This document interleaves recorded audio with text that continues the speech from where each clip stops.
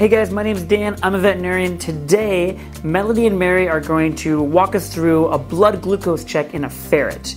Blood glucose checks are really important, especially in ferrets with insulinomas.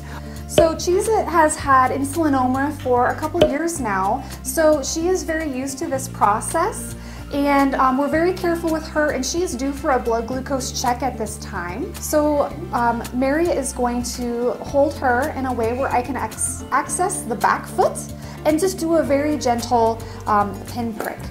So you want to have your glucometer at the ready um, because you don't need very much blood at all. And then you're actually gonna set it to the dog setting um, for these guys. I wanna go kind of at the side, little pin prick, and then you're gonna go ahead and squeeze just a little bit out.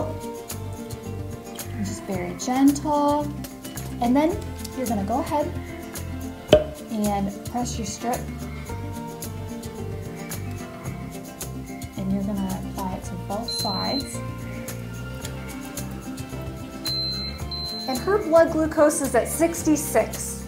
Ferrets' normal blood glucose ranges are the same as dogs and cats. So ideally we would want her blood sugar to be between 100 to 120, but we know that her um, sugars are constantly low due to her insulinoma, but this is actually higher than she's been. She's usually in the 30s or 40s, so we keep making adjustments to try to make her feel better every day.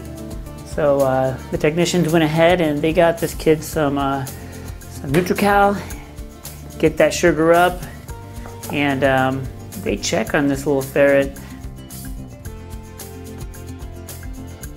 daily, multiple times a day, um, just to make sure that blood glucose is uh, stable because we do have an insulinoma and we've got to keep close eye on that blood glucose to make sure it doesn't drop too low. So it is definitely a labor of love.